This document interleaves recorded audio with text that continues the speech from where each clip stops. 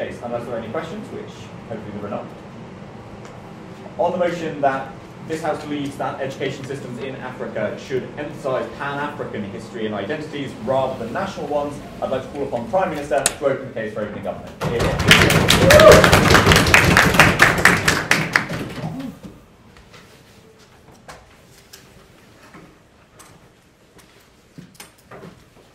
Audible? Um, I'll be taking POI in the fifth minute, KD1 from closing, and opening it five at a time. Starting next is in three, two, one. When we're talking about education, what matters is not what is presented, but what matters is what focus and what resources should be allocated to. On-site opening government, we believe we should allocate our resources on the research, on the buildings of Pan-Africanism, because the discussion and discourse on Pan-Africanism is extremely limited in America scope, and it increases the level of unity that can increase between people. So I would agree that there are symmetric level, perhaps a symmetric level of increasing level of unity on both sides, but the question is which resource should be allocated to, to increase unity, but also to increase interest. Three pieces of framing from side opening government. Let's talk about the implementation of Pan-Africanism in education system. The first is that we will focus on research, academia internationally, being gathered under the African Union worldwide to discuss and build what Pan-Africanism is, how it should be represented, more journals, more criticism, and more check and balance on the journals of Pan-Africanism, discourse that would increase and such. Secondly, we will also hire experts from local communities, educated individuals from different communities, how we can cover different layers of different representations of individuals. The third is obviously obviously there are still attempts to unite and achieve some level of you know unity because A, we focus on communality that we still pursue under the great banners of Africa, how we are divided not by ourselves but also by our conquerors and such, and the roots and the traditional uh, uh, traditionals that we can also cover on our side, but under a banner of Africa and the beauty of our differences that can also be covered. What realistic change is A, unity, we recognize that there are differences on this, but we would want to unite under one identity. The second, that there might be some identity that might not get covered, but this is some relatively okay because we would focus on a very umbrella term, an umbrella forms of Pan-Africanism. The comparative on-site opposition is abandoning those Africanism research, abandoning discourse and discussion for the sake of building nationality on the basis of each country's under Africa, and B, leaving little to no discourse and explorations upon Africanism to contribution. The first is how it builds national, how national identities tramples on the weakest and erases of our identity and decrease unity. The second is how Pan-Africa historically should be done through historical, yeah, through education and such, right? The first, let's talk about why national identity that is covered in education is going to be bad on-site opposition. The thesis is we understand and uh, you know preempt that the greatest battle is going to be based on characteristic. So we're going to give you five structural reasons and characteristics why nationalism would be underrepresented under their side. The first that you're going to focus on conflicts of each specific country. History has shown that countries faces these types of country faces post-colonialist conflict and shown that they also fight each other because of divide and conquer method that is done by colonialists. The second is there are different struggles in between African countries. Knowing the fact that they have different layers of slavery, for example, different layers of uh, struggles between each others due to the geographical differences, differences, who their conquerors are, who their colonizers are. The third is that culturally before there is struggle between them due to tribalism and such. The third is that within this country there are differences between tribes as well. So nationalism is hard to be done because you ought to erase one type of identity under their side and ought to focus on one. Why? Because after post-colonialist country, most likely the elites and the you know individual that is most privileged between the tribes are the individual who gets to build those ident national identity, are the individual who gets to build uh, you know the greatest tribe, uh, the greatest tribe who has the privilege of building national identity. What histories get covered. So on their side, they're gonna erase some level of individuals, and most likely this would lead to erasure, right? Now, let's talk about the impacts of nationality. The first, we would say that it increases the struggle for unity. It increases the effort for things such as African unions that focuses on a one single nation's, uh, uh, that focuses on one single Pan-African identity. The reason why this Pan-African identity is incredibly important is A, because these countries are oftentimes not great economically. They need to unite and work together, and in order for them to work concurrently and con uh, concurrently between each other, they need to understand that they are commonality. The second is that oftentimes, because there are differences between tribes in one country, nationalism doesn't get to cover that, but Pan-African identity get to cover a lot of identities under these tribes, right? I'm going to tell you why. Yeah. Thirdly, it's easier as well for future conflicts. So it's easier for things such as, you know, post-colonial country to wage war against each other because they don't focus on the single unities and identities and such. The third is that generally it's harder to implement nationalist-based identity on their side because you don't untie the forces between nationalism. There's little to no representation being done. Formalization of education gets harder because you focus on the single resources of one country as opposed to a whole pan-African and a whole African continent focusing on increasing the education and history. Uh, yeah, before the closing. In which level of education is this implemented? This is a clarification, not a appeal. Oh yeah, every levels of education, yeah. most likely like, you know, academia are pretty good at layering education in terms of difficulty. So in grade school, you're not going to be taught something too complex and such, right? Now, let's talk about the second argument, which would be how would the focus on Pan-African identity increases unity? The first is that generality, right? Because there are different tribes between one countries, you focus on general things such as the color pigmentation of your skin, such as the fact that we are all victims of struggles of colonialism and slavery and such. And this is something that a lot of individuals can cover and focus on. The second is that it's easier for people to unite on the basis of this commonality, the quality and the power that we own back then, the glory of our nations and such, uh, of our nations, of our identity. The second is that, the third is that there are more research being done on Pan-Africanism. Not that there are little to no interest being done done on Pan-Africanism on-site opposition as a comparative because, you know, most countries would just focus on their national identity and focus a lot of their resources on this. The third is that there are interests to intersect cross research, increase quality of education and history. Because researchers and educationers, you know, create curriculum that interact and criticize between each other, on their side, there are massive interests to continuously build, criticize, check and balance the Pan-African identity. So the comparative is, on both sides, there might be some level of Pan-African identity because there are interests to unite under African Union, but it is better on our side when it is formalized between education because there are efforts to continuously improve it. The way is not only that it increased unity, it increased the idea and the mobility to, in, uh, to increase the quality of buildings of Pan-African identity. What is the impact? The first is better interaction to mobilize between each other, so it's easier for you to interact between individuals under the Pan-African identity, even if they come from different backgrounds. The second is that the increase of politics and the representation of what being Pan-African is. It covers more ground, it covers more identity, more tribes are necessary because you invite more people, you ensure that the discourse on uh, formal discourse between history, the building of curriculums under our side is increased when it is focused on. And the last is that it increases commonality. It ensures that even if we are different under difference between our tribes, between our struggles, etc., that we are the same and we are once a glorious nation and we should focus on that. And the last is the ability to focus on greater economical advantages. Things such as African unions, for example, better trade between each other because it's easier for us to know that we are of the same nations and such. On-site opening government, sure, we're afraid that we're going against two African nations that are great teams, but at least we gave a very good effort.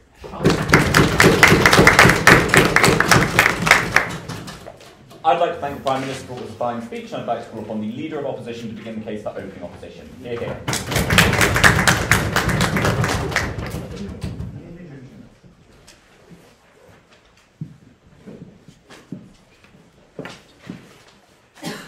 I'm trying to take from both sides.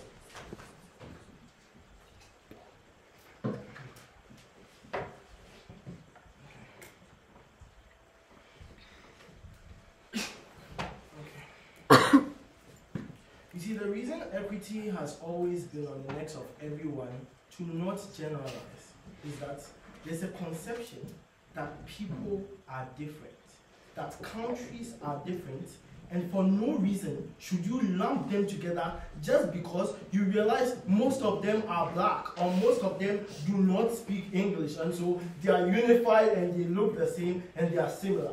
We think that the only reason we unify is that we are different and there is something that one side has that the other side hasn't. If we both have cocoa, there is no reason for us to like export cocoa to each other because we both have it. What it means is the only reason you trade with another country is that you accept that they have something that you don't. Why the hell will you exchange your cocoa for theirs? It's the same thing. What it means is this on opposition, we say that to the worst of cases, the only reason we would unite is because we know one side has something that the other doesn't. Two things. First is, and don't let them lie to you, they only have one argument, which is unity, and impact swelling from it. First thing is this all other regional blocs are successful and they do not need to carve pan-Europeanism, pan-Asianism to have that unity among them. Europe has free trade. Like you have Schengen visas, but they didn't need to do these things and teach everybody about Europe before they were able to do this. Two, their case is far from reality. There are things like ECOWAS, free trade exists in Africa. Don't let anybody lie to you in today's day. These are things that are happening without these African identities being taught. The delta that they want to prove is small and meaningless, and I'll show you why they cannot win this debate. Let me give more explicit responses to them. Two things. They say, well, countries are fighting each other in, in Africa. Two things. That's not true. Like, and that's the best response I can give. It's simply not true. The, the conflicts you have in Africa are caused by Al Shabaab, Boko Haram, Biafra conflicts. These are internal country conflicts.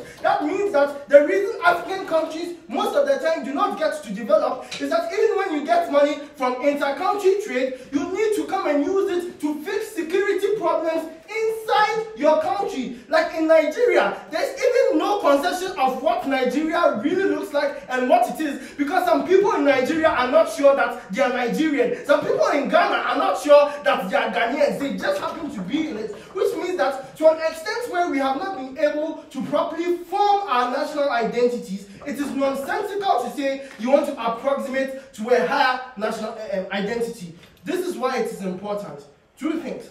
Our case on opposition and our stance is to say that when you teach people to focus more nationally, they are more likely to buy into things like um, Pan-Africanism anyway. Because if I love Ghana and Ghana wants to cooperate with Nigeria and South Africa, as a patriotic Ghanaian, I will buy into it because it is an extended function of the love of my country. It means that we co-opt their impact when you focus on it. But we think that our impact is better because I'm able to cooperate with other people from other tribes in Ghana and not focus on a superficial Nigerian uh, uh, uh, African identity. Secondly, and I think that's why CSPOI is important, because what it does is that if you are going to teach children these things, children need to understand to be tolerant to the people right next to them instead of imagining being tolerant to someone in Kenya. We think that when you do this and you're able to coagulate, two things happen. One, assuming unities and impacts that can happen on both sides. This is why ours is better. First thing, the impact of free trade, free travel, those things happen already. And so it is not a unique eh, eh, impact. Our impact is that people stop intercultural wars that prevent states from being able to have good international image. That's why we can't even get loans and grants. That's why we don't even get FDIs. Because people know that African countries have conflicts in them. Not that, even though we are united as AU and are even planning to have our own banks, have our own currency, we still don't get investment because people People know that we are shitholes and they cannot protect their investments because of political instability. What it means is we allow the expansion of all the impact that they have if our countries are fully formed. If you think I'm lying, look at EU. Secondly, we see that most of the time, the cause of ignoring these specific issues comes to wash minority identities and erase them through a unique ethnic cleansing mechanism. Realize because what you do is that you have to focus on big countries like Nigeria, big countries like uh, Morocco, who have capital to be able to invest in the research and everything they talk about. Those countries have no reason to invest in smaller African countries or smaller African identities. Do you know why? Most of the time, those countries have even ignored them and they are dying and nobody really cares about them. On our side, we say we let them be more inward looking and be more concerned about this. This impact overacts everything because we say that when you are able to localize and develop, you can now coagulate and get more factors such that you don't need to spend so much on internal security while you are trying to create good external flows. So given that to a large extent, the problem that a lot of Africans face, be it internally or externally, is that they do not conceive that their identity is one that is important. how do you hedge against the white imperialism that goes on there? Yeah, the reason white imperialism exists is that they think we are all the same. And so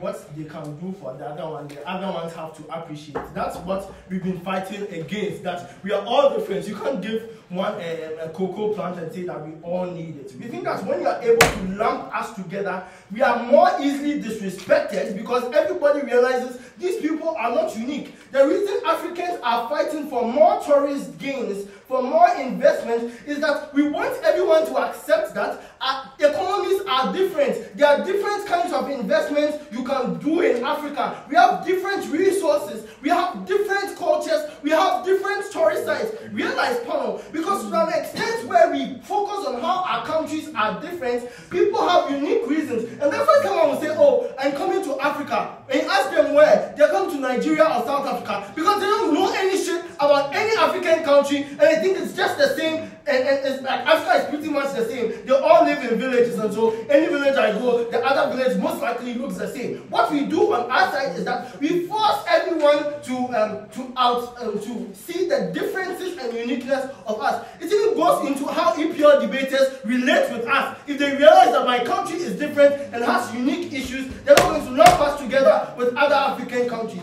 We think that this is better because when people realize that their uniqueness is being appreciated, they able to have a better worldview. We see to an extent where people have died to secure their unique identities today, they should not have their identities forgotten because of a superficial principle. Proud Owo. I'd like to thank the Leader of Opposition for the fine speech, and I'd like to call upon the Deputy Prime Minister to continue the case for opening government. Here, hear.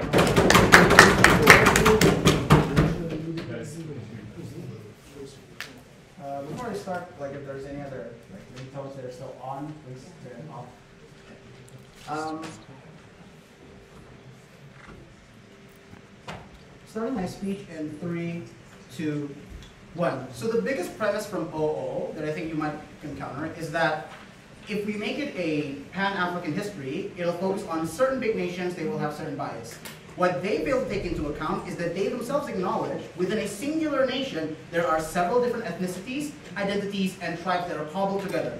That's to say, on their side of the house, in the history of Ghana, there's no one Ghanaian people. There are still different ethnicities, tribes, and a minority within a minority in their, in the, within their nation. So their benefit of national identity being possible or perfect is still something you cannot achieve because the elite are the ones that are defining it.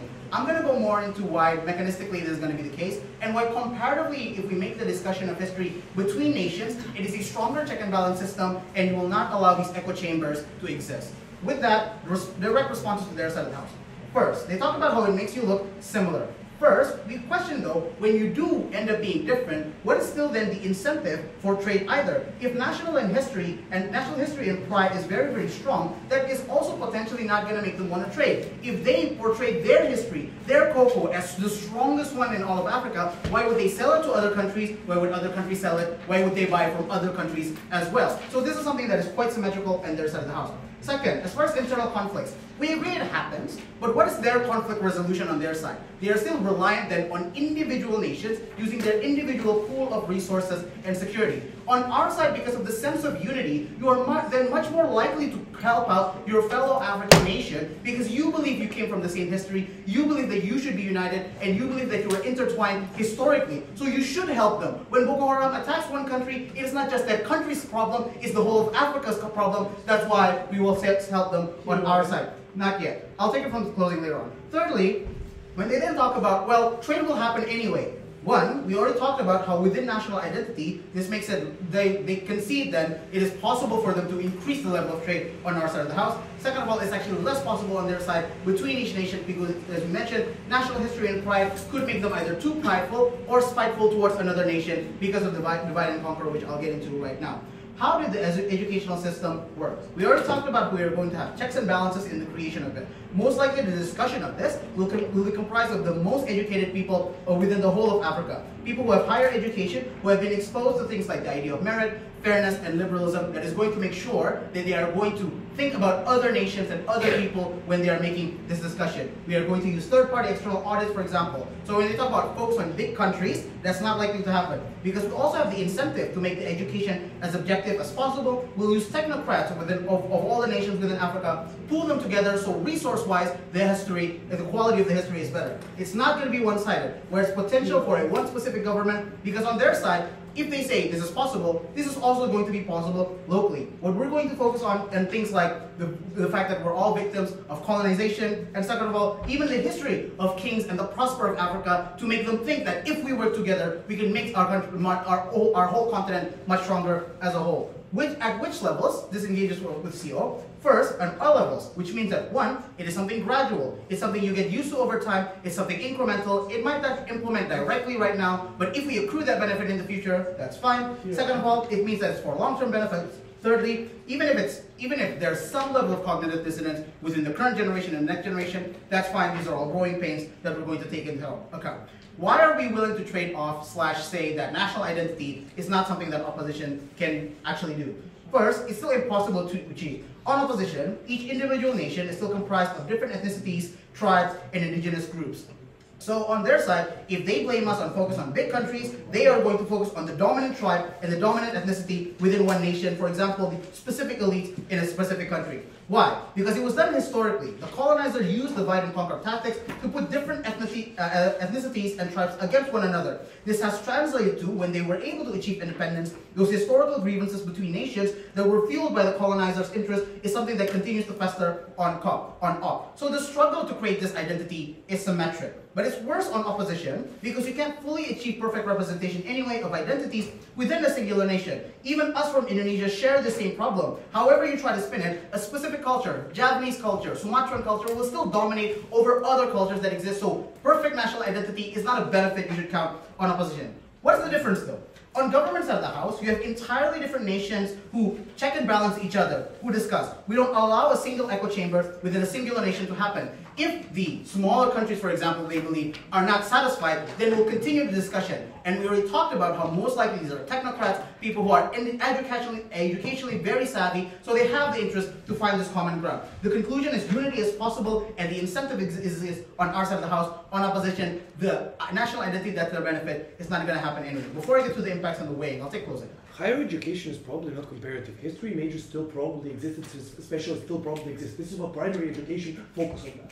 Yeah, even even then, even when it's at any level, we're talking about the precursor to any benefits or any harms of this debate, which is the creation of the curriculum that is included in the historical system. We're saying the people who are the most educated are the, the ministries of education for all of them, the technocrats for all of Africa. They are the ones combining, making sure that the history is something that is most representative. It might be trading off some smaller identities. We agree.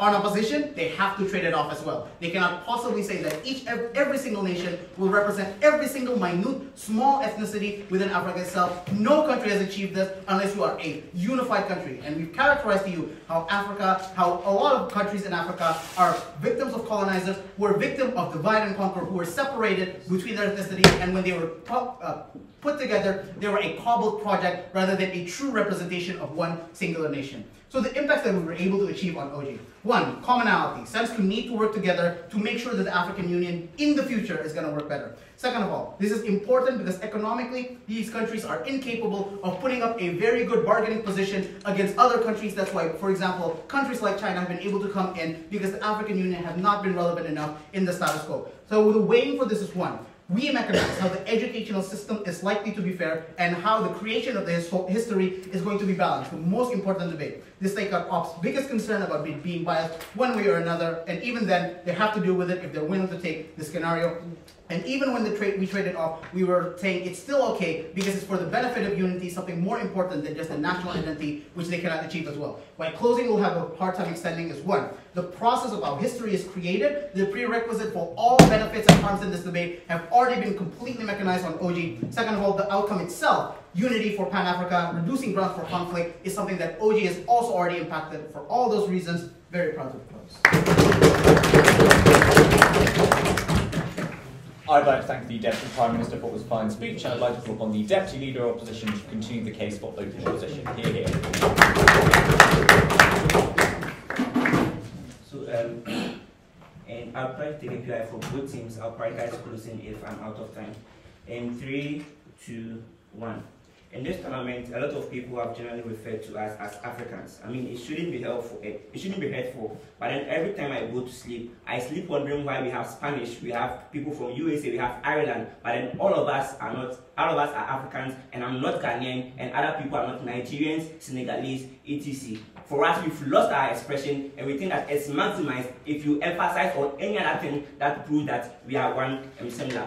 What is OG's response to this? OG says that if you if you denounce like Pan-Africanism, it means you lose all your similarities. If you denounce Pan-Africanism, colonization is still exists, its memory and its effects are still there. If you denounce Pan-Africanism, everything that makes Africans similar is going to exist. We just say that we do not, I mean, feed it into the problems in status quo. We are more liberating for Africa. But then, what does OG assume? I think OG assumes that without the idea of Pan-Africanism and emphasizing on it, you can never achieve anything in Africa. So things like they argue that, oh, Pan-Africanism gives, gives us unity, Pan-Africanism gives us more trade, Pan-Africanism, Pan-Africanism like solve the internal conflict. It's just a, a generalization that they fail to prove, even if they give you structural reasons, it does not really engage the issue. The first response is that every other continent or every other regional bloc have been able to do some of these things and they are not dependent on pan-Europe, they are not dependent on any other like similarity as like Africa. We don't get why only Africa should get all of these things when they focus on Pan-Africanism. But then secondly, the first speaker tells you on our side that all of these things are happening. ECOWAS and the African free trade, like Ghana has bilateral deals with Cote d'Ivoire on how to sell like their cocoa. All of these things are happening and they are on the right because Africans know that they have to do this together. We don't get why, I mean, Pan-Africanism is the delta that makes all the benefits like on tempos. They need to explain why, if without Pan-Africanism, all of these things cannot happen. We say that it's happening in status quo. We don't emphasize on Pan-Africanism. These things can happen. Don't let them deceive you that it cannot happen and without Pan-Africanism, Africa will never grow. Africa is growing quite um, well. But also, if you agree that forging, like forging a national identity is important, you can't be the side that is advocating that we should ignore national identity and focus on Pan-Africanism. Because we say that national identity is important and it's logically prior to any other benefit you can get on the African continent. And this even like, and this is even why we win today's debate because we argue that for all the benefits that every team can claim, even if like CEO, everything can claim, if you not focus on carving national identity, you lose all of these particular benefits, and that's why we like it's like necessarily important, right?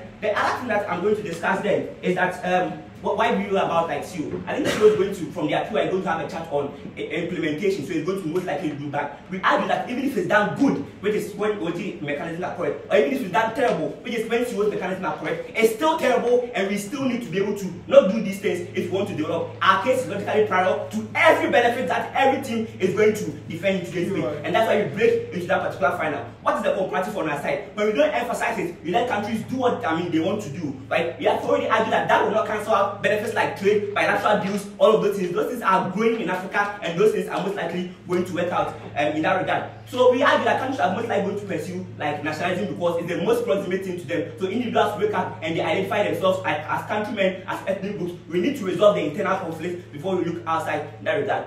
We are going to engage like three things. One status quo conflict in Africa, and the last thing is on expression, closing. So the problem with your case is that this education is being done internally. So you're not teaching the white man that I am different from him. You are teaching the same black man that I am different from him. I already fucking know this. What changes?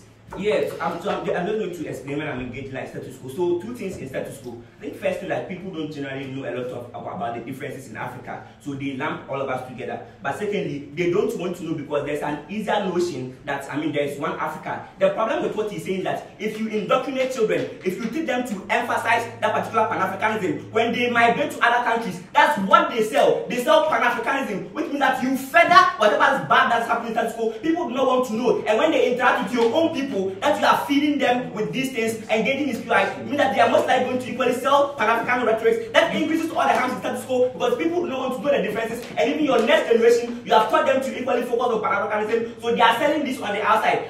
I think they, they cannot to be able to like win this case. They need to prove that Africans will never interact with the Western world because if you teach them that Pan Africanism, when they interact, they're going to interact based on Pan Africanism and not unique differences. And the harm of lumping Africa together is still going to exist. People don't care. The people will not want to know the differences in that particular like that. The second chart is on conflict in Africa. I think several things. First of all, conflict in Africa is not because of countries fighting um, another country. This is why it is true, and this is open like structural reasons as to why Africa will still develop regardless of Pan-Africanism. First of all, there is more push for African countries to work together to fight like um, issues that are um, bothering them. Without Pan-Africanism, these issues are bothering them. They are still going to come together and they are going to work. It's unclear to me why you know that you have to collaborate, collaborate with Cote d'Ivoire to be able to and gain maximum profit from your gold. But they say that because they are not going to teach Pan-Africanism, you say are not going to collaborate with them. It's very, very unclear. Secondly, there's even more push for countries to form like regional blocks insofar as maximize their gains from their ports, maximize their gains from their common goods that they trade. And thirdly, like there are bilateral trade users existing within Africa. We observe two things. First of all, unity is already in Africa, opening that men's delta is very small. But secondly, I mean, the world will still exist and Africa will still develop regardless of these things. I think the third thing then is that conflicts in Africa are mostly because of like the pre-colonial context. One, where they existed as ethnic groups and they are fighting among themselves. But secondly, when like arbitrary like drawing and statehood enforced on them. This means that they were never able to conceptualize to come together as community to form states. It was enforced on them. And all of these things are the reason why like Africa is developing and their internal conflicts. On our side, we say let countries focus on these things, let countries solve these things. That was like they are still going to want to engage as other countries. Because when you solve these things, that's when development can be incremental. So when states are built, when roads are built, people don't fight and destroy them in that particular regard. I think the other thing then is that on our side, when we get these things, we have a better movement for Africa to be able to do it when you don't focus it. And then the last thing, which is my extension as EPM, is the idea of expression. First of all, how you express yourself is dependent on the first thing that is most proximate to me. Like the first thing that's most proximate to me as an individual is not necessarily the superficial concept of the state, but the superficial, the, I think the first thing is like you when the community you were, you were born into, like the ethnic groups and the cultural differences that are surrounding you. Then the next thing that approximates to you more, like the state that you come from. Before like the third thing that comes is necessarily like the continent. On our side, people get more expression and they get the ability to express themselves at tournaments like WDC and other tournaments in the fact they know that they are being taught focus on their country. You are going to see me and call me a Ghanaian and not see me and call me Ghana. So if you want a team that gives you much more expression, you have to vote open operation into the final. The reason why we win and why our case are more important that first of all, we identify that the most important thing for you to be able to do as an African country is to one, allow your people to express themselves. For so long, these particular people have been shackled, they've been lumped together. It's unclear why you want to stop, not solve one problem, but focus on any other thing. Most importantly, all our arguments are logically prior to any development that anything wants to claim for Africa. It's logically prior to any other thing about how like there's incremental success and how this imp implementation happens. Proudly opening opposition.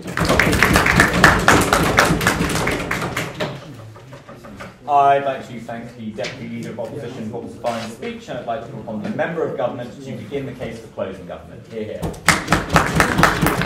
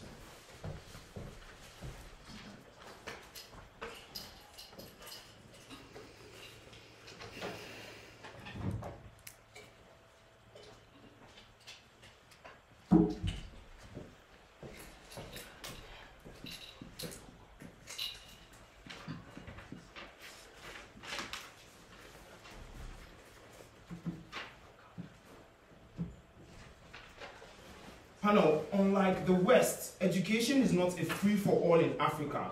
Literacy rates are very low, and at best, educational su su success is an aspirational option.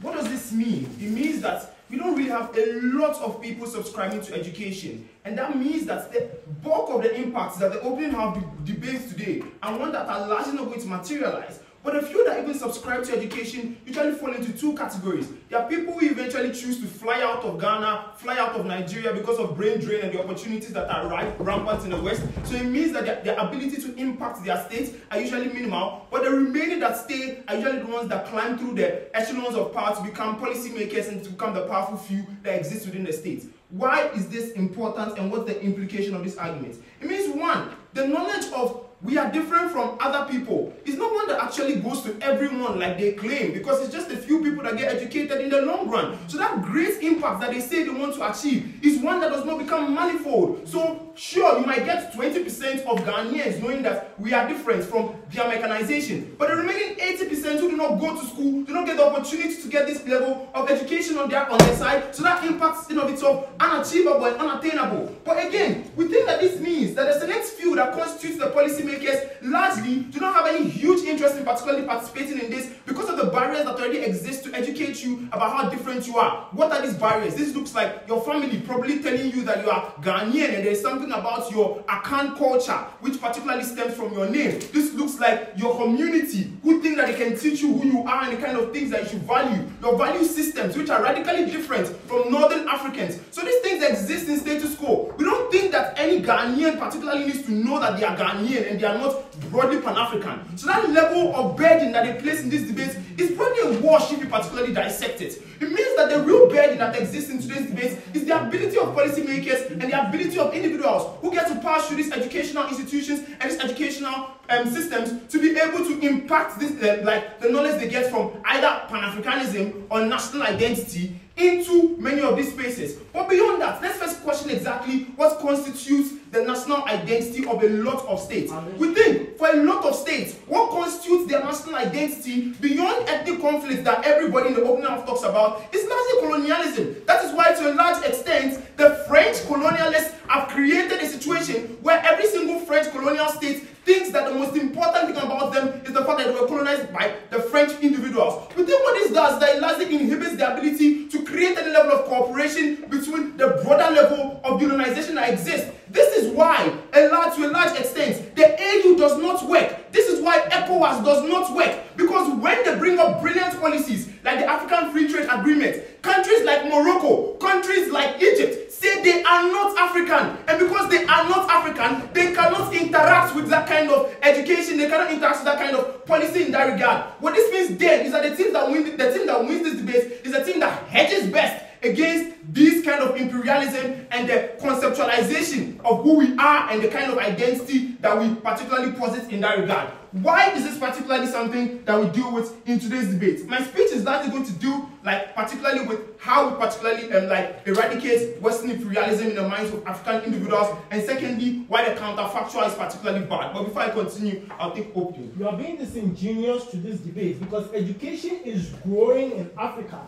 Togolese people think they are French because they've not conceptualized being Togolese. It means that when you localize, You see, like this is the problem with their speech here. They particularly assume that I have to think that I am Togolese first before I think that I am African. We think that every other thing that exists in your community freaking tells you you are Togolese. We think that your name, at the most basic point, tells you you are Togolese. He is called Kojo. I am called Shegun. I know I am fucking Nigerian. I don't need education to tell me I'm Nigerian. That burden is unimportant in the debate. Let's engage like policy and how that particularly changes in this regard. We think that to a large extent, the reason why a lot of policies that seek to promote African, prom- uh, African like development in of themselves fail is because to a large extent there's a huge uh, there's a huge um, problem of like um, of, of like coagulation and cooperation. Recognize we do agree that this theme, at best it's a theme, comes from opening government, but we show you how we win it over them. We think that the reason why these things happen is because to a large extent, due to the manner in which colonialism worked out, there was an inability for states to be able to understand the possibility of cooperation that could exist between themselves and other states. However, how is this dealt with with this particular line of education? We think that what education does is, at this point is that it teaches them that before the white man came into the picture, you already held a broad and bigger identity above your national identity, which was African. How does this happen? We think that this looks like particularly giving them illustrations in their books about individuals like Shaka Zulu from South Africa, even though they are Nigerian. We think what this particularly does is that it shows them that beyond like having great white men who solved problems in the world and particularly created something in that space, you already had people outside of your local demography. What does this mean? It means that in terms of policy, you would have more interactions because they know that there's someone outside of my local demography who could probably understand this better than I did because they've particularly better gone through all these kind of things. Why is this particularly unique to our side in this debate? Within this particularly unique impact, because to a large extent, what typically happens is that even though we suffer similar problems, we do not have similar grounds upon which these problems should be solved. Why? Because we think that our best solution is to freaking opt into Bretton Woods agreements and Bretton Woods institutions. That is why Ghana is going to opt to go into the IMF and not particularly have interactions with states that have gone through similar like um, inflation inflation problems that they've gone through. But then what you do then is that you create a better ground for an understanding of the dynamics that went into many of these local spaces and made them work. We think that on the flip side, if you go for national identity, a lot of states will look for internal solutions to their problems to the extent of not particularly interacting with other African states. The alternative when they fail, because more often than not they do fail, is that they opt for Bretton Woods institutions like the World Bank, like the IMF, who give them structural adjustment policies that fucks them over. We think the inability to re remove the concept of the white savior is one that we need to particularly clamp down against in today's debate to be able to create a world where we have better solutions in that regard. But beyond that, recognize that to a large extent, a, a portion of Africa already believes that they are not African. Individuals from Egypt, individuals from like Northern Africa in that regard. What you do in the debate when you particularly offer this particular like um, point of view is that you create an opportunity to reintegrate and tap into the resources that existed in these places. We think that's something that you uniquely get from our side that you don't get from open government. We think we win today's debate because we properly contextualize today's debate. They tell you nothing about the impacts of education. They just run on research. Today's debate can't fucking be about research. Is already proud to propose. I'd like to thank the Member of Government for the defining speech, and I'd like to call upon the Member of Opposition to begin the case of closing opposition.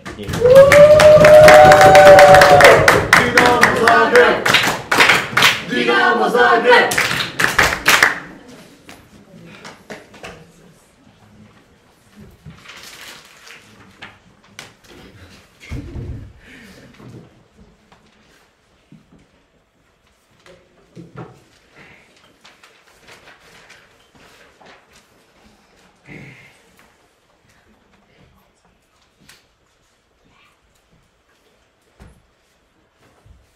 Speech. Good. Three, two, one. Firstly, on opening opposition. A lot of their case don't show why this is going to get better towards the West. Don't show why the white person in the West perceives Africa depending on how on African internal policies on their own education. Secondarily, there is um, there is a lot of linking required with the motion that is just not present on why this is going to be. Thirdly, on the, on the points about expressions, depending on the one of the state, come very late and late, uh, like a lot of nuance. First, on some framing that has been not present within this debate. Firstly, this is about primary schools. We POI this twice, we don't get a re re realistic answer. All do agree, they don't show what is the nuance and what this looks like. This is the first time you learn history, right? When you're in primary school, you're like 10, 11, 12, right? This is the first time you're engaged with the history of whatever area you want, on both sides of the house.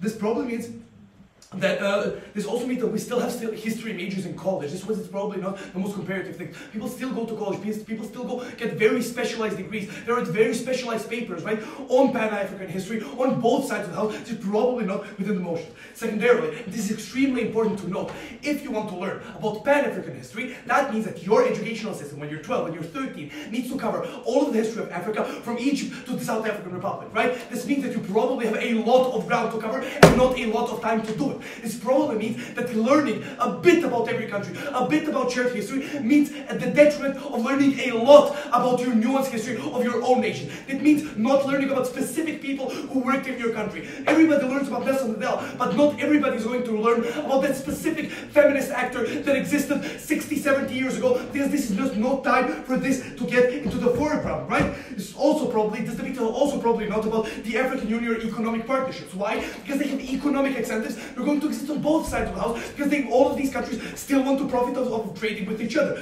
This also probably means this is the same for Egypt and Morocco that you want to bring. They, they don't uh, opt in because they don't think they're African. They opt in because they don't think it's going to be economically profitable for them. This is unlikely to change on both sides of the house. Now, what's important within this debate? One, identity is extremely important for these individuals. OG mentioned that don't, don't, don't show why. Uh, um, uh, Oh, and OG mentioned that don't show why it's important. Secondarily, outside perception, we're actually going to link on how and why it changes. Firstly, on the idea of identity, right?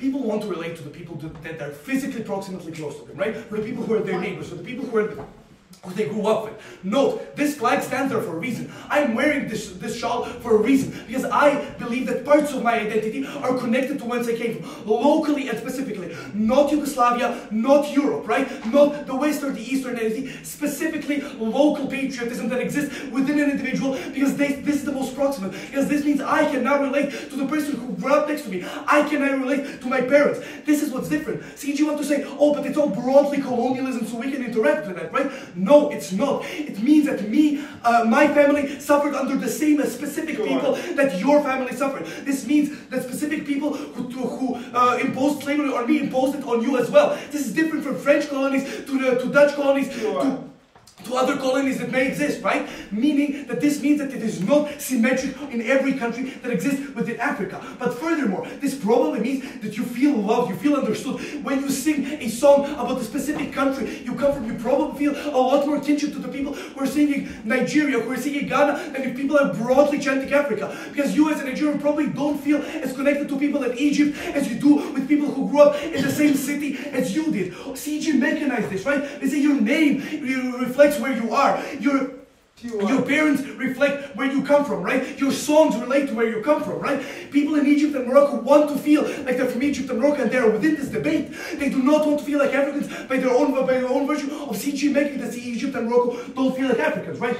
Furthermore, the state has a duty, uh, the, a duty to maximize my ability to achieve happiness. Given that we've shown that your local identity is likely one of the metrics that you use to achieve happiness, one of the metrics that is very proximate to both you and the people that you grew up with, the people you want to relate to, both, uh, you, both uh, those who are close to you proximately and those who are genetically tied to you, the state has a duty to maximize my ability to do so. Note why this is important. The state controls all of the aspects of my existence, education being one of the most proximate ones here, meaning that the, the, the things that the state teaches me, to, that teaches me in schools is something I have no recourse towards. I didn't choose what the state is going to teach me. I'm too young. I'm still ed, I'm still attending uh, attending these schools. The state had then has a duty to say that they will teach me things that are most likely to maximize my own happiness. Considering that Sure. identity is going to be extremely important, my ability to live, live a dignified life, my ability to decide what happiness means for me, and have the maximum possible tools to achieve this is extremely important. Therefore, the state has a duty to allow me to access national identity, national pride,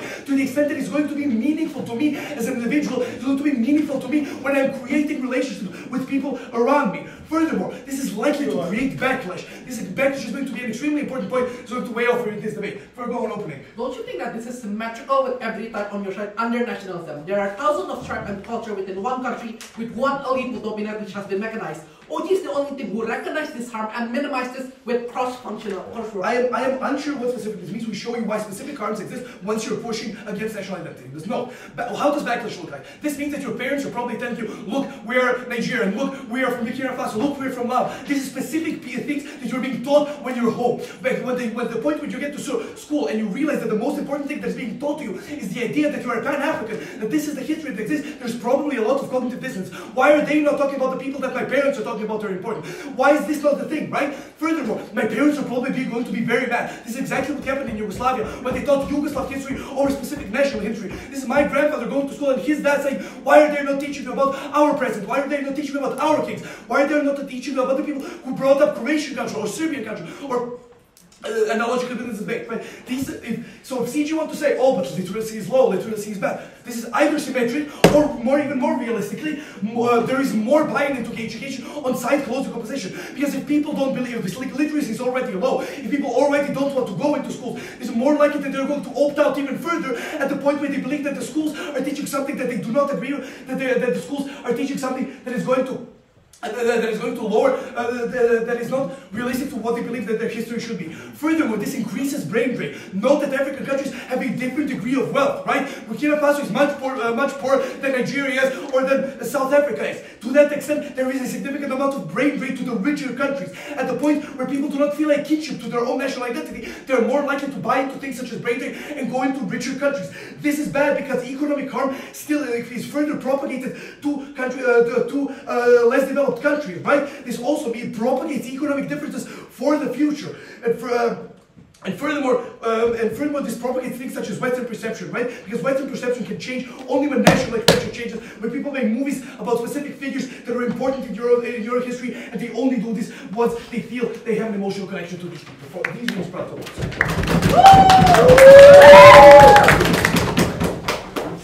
I'd like to thank the members of opposition for the fine speech. I'd like to call upon the government whip to close off the case of closing government.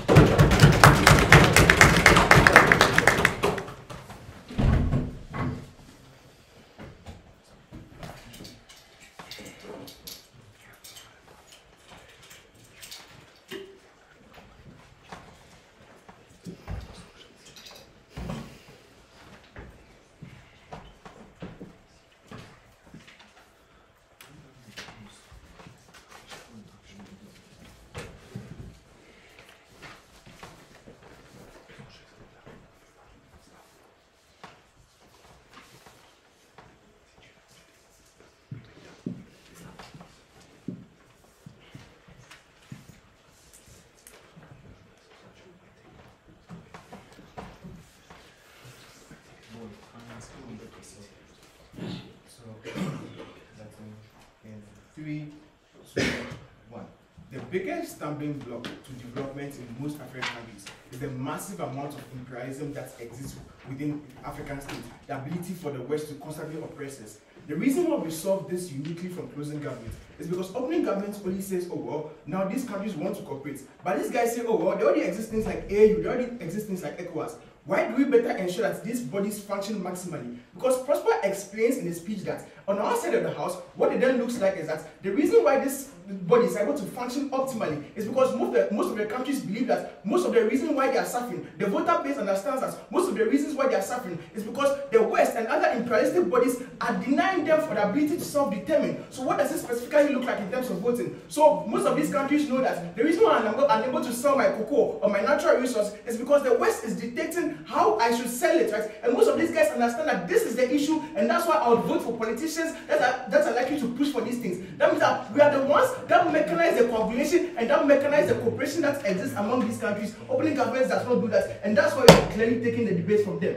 But then let's go to closer position and firstly take them out. They say, oh well, individuals are going to forget our national identity. Note that things like mass media exist, there are national holidays that exist, families will teach you about these things. So I don't think there's going to be that massive forgetfulness as they try to explain within their speech, right? And that's very ridiculous. So they say, oh well, parents will backlash these people, right? We can easily explain that, oh well, we just want to create a unified identity, especially when most of these guys feel that they are underrepresented. They know that when the next government comes, Christians are going to come into power. When the next government comes, Muslims are going to come into power. So they are likely going to hedge against these things because they feel that, well, then just create something sustainable that everybody can ascribe, everybody can ascribe to. That means that parents are likely to understand these things and know that this is for the better good. I don't know why CWOK has a case within today's debate. They say, oh well, these countries need to understand the specific nuances that led to colonization. So, for example, Dutch countries can know that Dutch colonial, uh, close colonial countries can know that this was a specific way that they were colonized by the Dutch and the English and the Spanish whatsoever. Know that their side still creates and entrenches the idea of divide and conquer.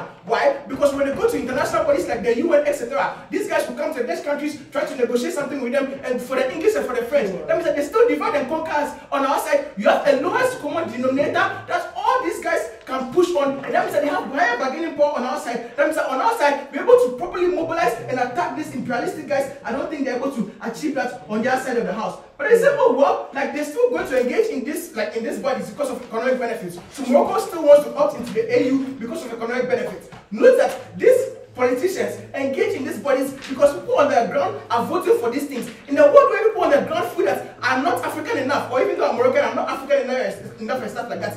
These politicians are unable to then opt into these things, especially when people vote on most things like their identity and stuff like that. In a world where people feel their identity is not proximate to the larger identity, then they are still not going to opt into these things. Closing opposition does not have a case within today's debate. Let's go to opening government. I'm going to engage them on three levels. Like, firstly, on unification. I have two observations here. Countries unite based on similar goals and aspirations. So you cannot argue that their differences is what's going to make them unite. In a world where we make it apparent to them that you have similar goals, you have similar aspirations, because the reason why you are here is because a white man came to plunder you, then you are more likely to unite on outside the house. But then secondly, O explains that unification still exists in the status quo. That unification is redundant because most countries are selfish, and this is this is reflected when you go to things like the UN. Countries like African countries do not vote together. They don't come together and vote because all of them are selfish and they all push for their individualistic things. On our side, we tell them the voter base tells them through their votes that well, the reason why I'm suffering is because of the white man, and that means that politicians when they go there are likely to vote against the against the white man, which is mechanized from their ability to coagulate as African leaders, and that's why we clearly on that. Second thing they argue is about conflict. Note that there's no clear like definition of national identity on that side of the house, right?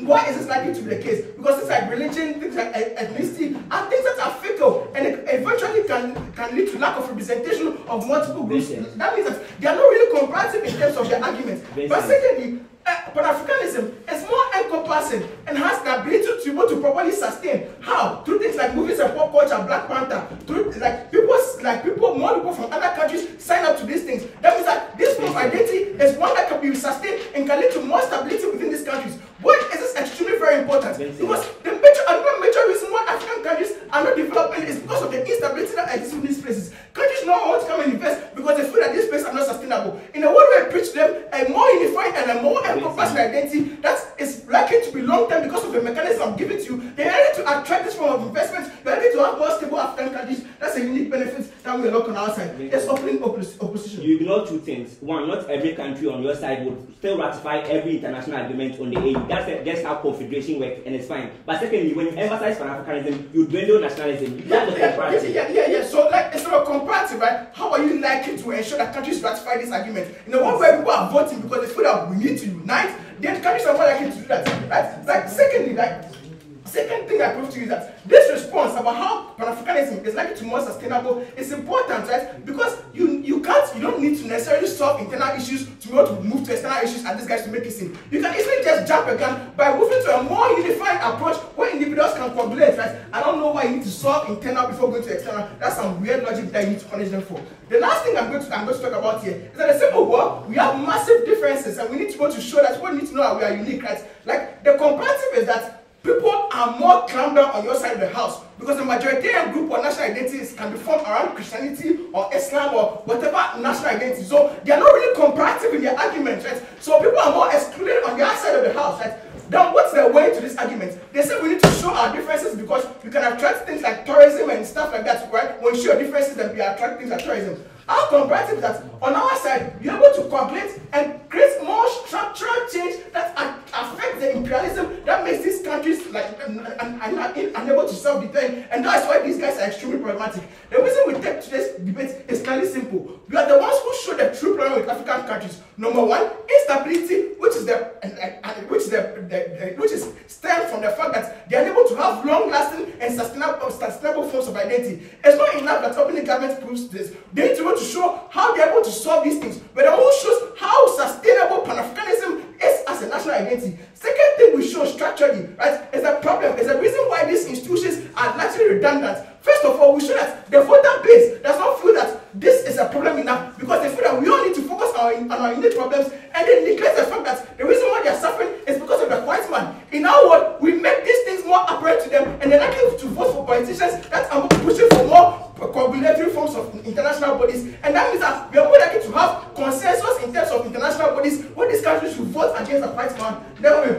be proud to come from closing government. I'd like to thank the Government Whip for was fine speech, and I'd like to call upon the Opposition Whip to close off the case for closing opposition. So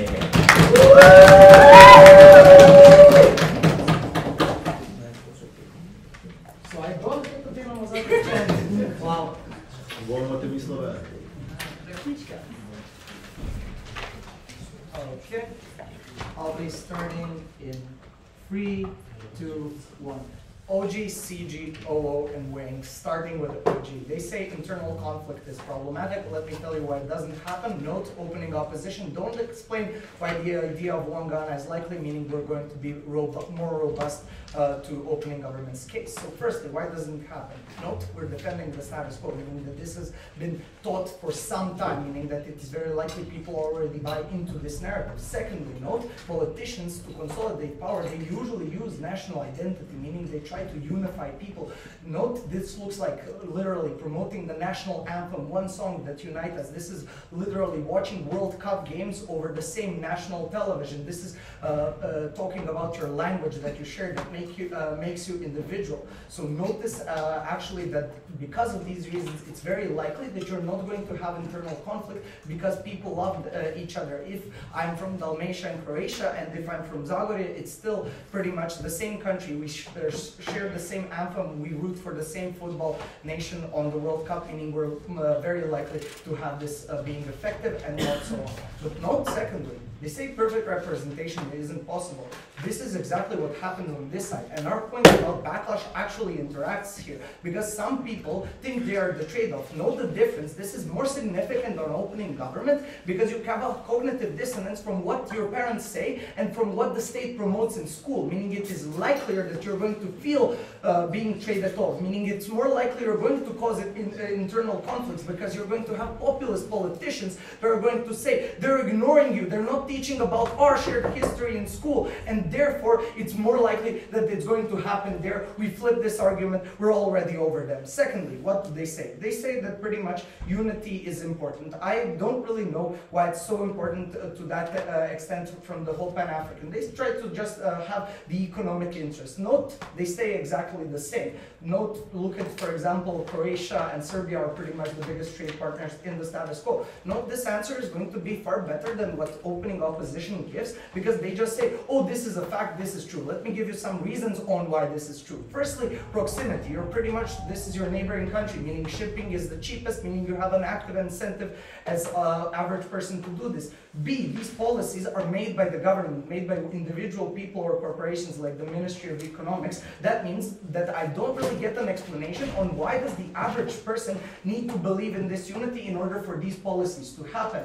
I think this is better than just saying this is fact and this is actually where we get uh, logical priority. And note this rebuts closing government's uh, interaction point as well, meaning that this is likely uh, uncomparative to that point. Moving on to closing government. So firstly, the most important thing is that parents tell you you're a Ghanaian, meaning that the school doesn't on their side as they say. Why is this important? This is important because you're probably more likely to believe your parents because they're the people you interact with most. They're your authority when you're a child. What does this mean? This means that they should actively, or they will actively be pissed because the school is ignoring your identity. They say, don't trust the school. And note, this is very important because the impacts are very big. This is literally the decreasing of education because people don't want to learn these subjects. You're not incentivized by your parents to be a good student. This means it is far less likely that you're going to get a, a, better paying job. It is far less likely that you're going to be informed or even want to be politically active, meaning at that point, you're much less likely as an African to satisfy your own preferences, meaning that this is the ultimate point within this debate and why we way over.